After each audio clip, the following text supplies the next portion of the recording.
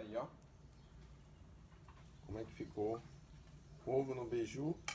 E agora você vem simplesmente, ó, vai fazer isso. Vai fechar aqui.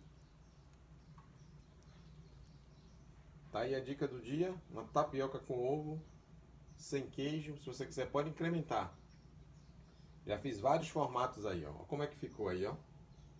Um ovo na verdade que não é frito, é como se fosse cozido, tá? É, para não fazer aquela fritura que não é muito bom para o organismo, né? Gordura saturada é problema. Tá aí a dica do dia e um bom dia, pessoal. Vamos, vamos procurar cuidar da nossa saúde, vamos se cuidar aí, se tornar mais um pouco, eu não digo nem tanto fitness, mas consciente daquilo que a gente come. Valeu? Um grande abraço aí, galera. E até o próximo vídeo. E pessoal, tô aqui com um beijozinho, tá vendo? Já pronto. Cafezinho ali, ó.